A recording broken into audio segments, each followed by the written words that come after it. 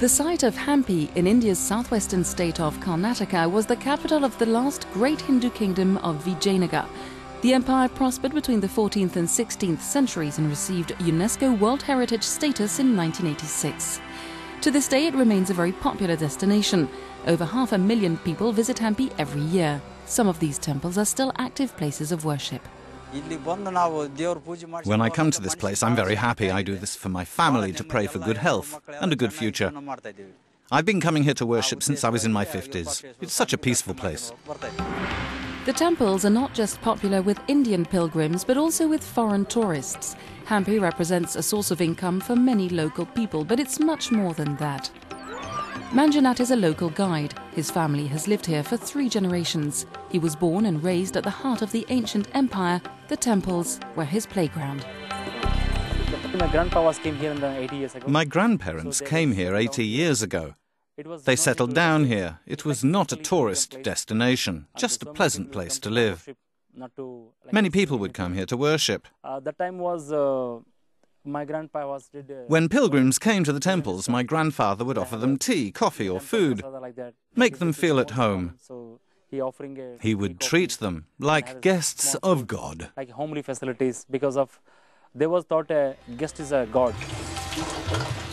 Manjunath's family moved a few kilometers away from the site in 2011 when the pavilion area where their house was built was cleared for restoration. He's worked as a tour guide here for 15 years.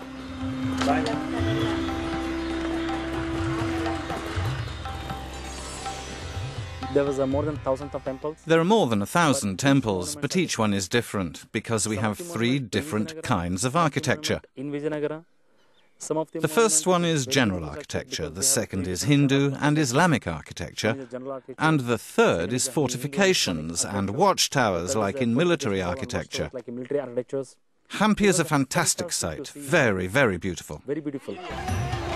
But the growing number of pilgrims and tourists brings new challenges. Archaeologist N.C. Prakash's main task is to restore the ruined sites, but also to ensure the safety of the monuments. The biggest problem today is garbage. we have to give more awareness to the We have to raise awareness among visitors because when people come here, they bring a lot of plastic, food, and other things. and even eatables and other things. We've installed dustbins, but knowingly or unknowingly, I don't know. The people don't use the dustbins. or knowingly, I don't know. But uh, they are not. So cleanliness really is something we have to raise is a very awareness important about. Thing that we has to bring into the awareness. A group of locals is taking the issue seriously and has decided to get its hands dirty. Kiran runs a family guest house near the Virupaksha temple. He and his friends join in to help keep the place clean. We have also responsibility to clean Hampi, to keep Hampi clean. So with my friends all over here, they were just clean with me. So we have been doing this um, kind of work since uh, many years.